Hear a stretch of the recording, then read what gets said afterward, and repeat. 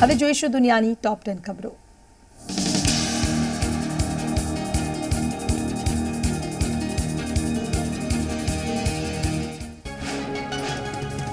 ઇઝરાયેલે ફરી એક ટાસ્ક ફોર્સની રચના આ ટાસ્ક ફોર્સ પેગાસસ સોફ્ટવેર પર લાગી રહેલા આક્ષેપોની તપાસ કરશે છેલ્લા કેટલાક દિવસથી પેગાસસ સ્પાયવેરથી થઈ રહેલી જાસૂસીના પગલે દુનિયાભરના દેશોમાં હલચલ મચી છે પેગાસસ સોફ્ટવેર પર ભારત સહિત ઘણા દેશના મોટા નેતાઓ પત્રકારો તથા અન્ય હસ્તીઓને સોફ્ટવેરના માધ્યમથી ટાર્ગેટ કરવાના આક્ષેપ ઉલ્લેખનીય છે કે ઇઝરાયેલનું એનએસઓ ગ્રુપ બનાવે છે પેગાસસ સોફ્ટવેર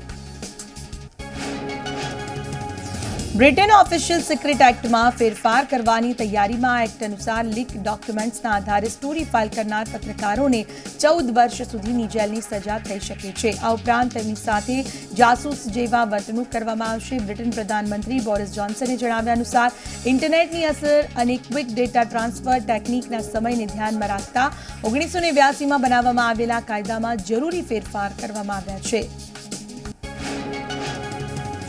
ચીને તાઇવાનમાં આપી જાપાનને ચીમકી કહ્યું જો જાપાન તાઇવાન મુદ્દે હસ્તક્ષેપ કરશે તો પરમાણુ બોમ્બ ફેંકવાની ફરજ પડશે એટલું જ નહીં ચીનના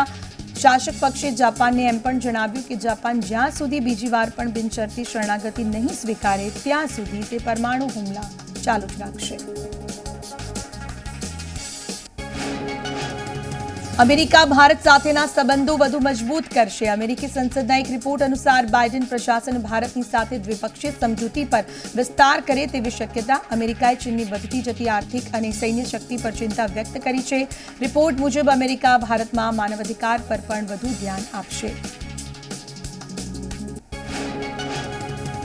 અમેરિકામાં નોન ઇમિગ્રન્ટ વિઝા ધારકોના બાળકો માટે એફ વન સ્ટુડન્ટ વિઝા મેળવવાની પ્રક્રિયા સરળ બનશે અમેરિકી સિટીઝનશીપ એન્ડ ઇમિગ્રેશન સર્વિસીસ દ્વારા થયેલા નીતિ વિષયક સુધારાને પગલે પ્રક્રિયા સરળ બનશે આ પહેલા અમલી નીતિ પ્રમાણે એફ વન વિઝાની શરૂઆતના ત્રીસ દિવસ પહેલા સ્ટેટસ અપ જાળવવાની ફરજ પડતી હતી જેના પગલે અનેકવાર વિઝા એક્સટેન્શનમાં લેવાની ફરજ પડતી હતી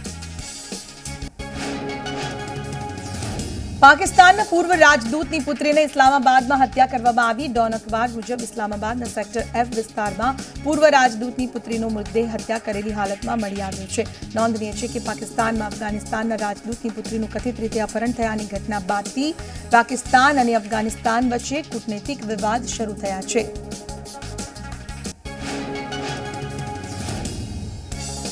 ચીનમાં ભારે વરસાદને પગલે વિનાશક દ્રશ્યો સર્જાયા ચીનમાં છેલ્લા એક હજાર વર્ષનું સૌથી ભયાનક પૂર મધ્ય ચીનના હેનાન પ્રોવિન્સમાં ચોવીસ કલાકમાં બાવીસ ઇંચ વરસાદ ખાબક્યો જેને પગલે બાર પોઈન્ટ ચાર લાખ લોકો અસરગ્રસ્ત થયા એક પોઈન્ટ સાહીઠ લાખથી પણ વધુ લોકોને સલામત સ્થળે ખસેડવાની ફરજ પડી ચીની રાષ્ટ્રપતિ જિનપિંગે તાત્કાલિક રાહત અને બચાવ કામગીરી માટે સેનાને કામે લગાડી ભારે પૂરને પગલે અત્યાર સુધી સોળ લોકોના મૃત્યુ નીપજ્યા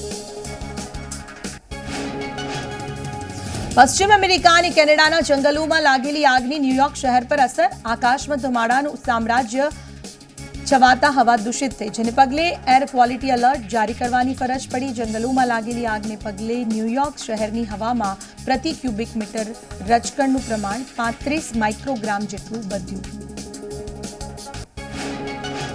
અમેરિકામાં કોરોનાની સ્થિતિ અંગે રાષ્ટ્રપતિ જો બાઇડને આપ્યું નિવેદન કહ્યું રસીકરણને પગલે સંક્રમણના કેસોમાં ઘટાડો નોંધાયો છે જો કે લોકોને ડેલ્ટા વેરિયન્ટ અંગે સતર્ક રહેવાની અપીલ કરી સાથે જ કહ્યું કોરોનાની ત્રીજી લહેર સામે બચવા માટે લોકોને વહેલી તકે વેક્સિન લેવા અપીલ કરી રાષ્ટ્રપતિ બાઇડને દુનિયાભરમાં રસીકરણ કરવામાં મદદની સાથોસાથ નવી નોકરીઓનું સર્જન કરવા પર પણ ભાર મૂક્યો છે